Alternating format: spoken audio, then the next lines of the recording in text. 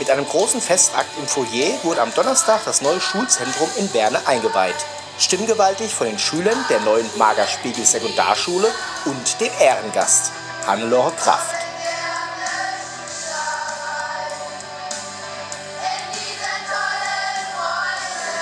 Die Ministerpräsidentin wurde zuvor von Wernes Bürgermeister Lothar Christ und Michael Macchiola, dem Landrat des Kreises Unna, begrüßt.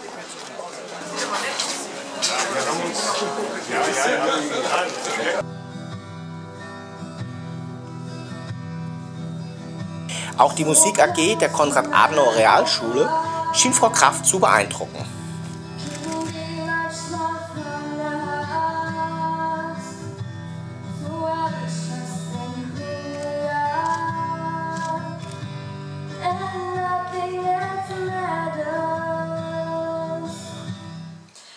Zunächst gilt mein Glückwunsch dem Architekten und seinem Team für das, was er hier geschaffen hat.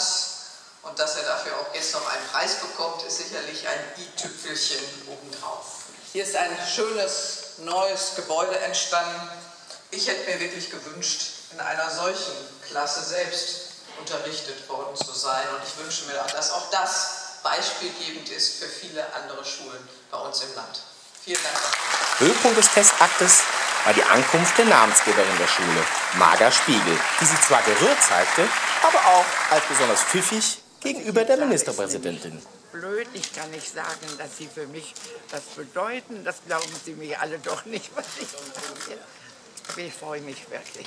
Ich freue mich, dass Sie da sind. Eine große Ehre. Schön.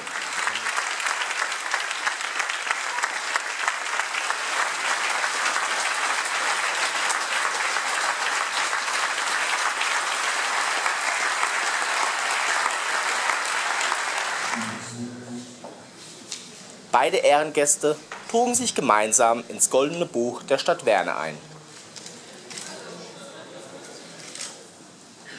Den Blumenstrauß an Magerspiegel überreichte übrigens Leonie Siegmann.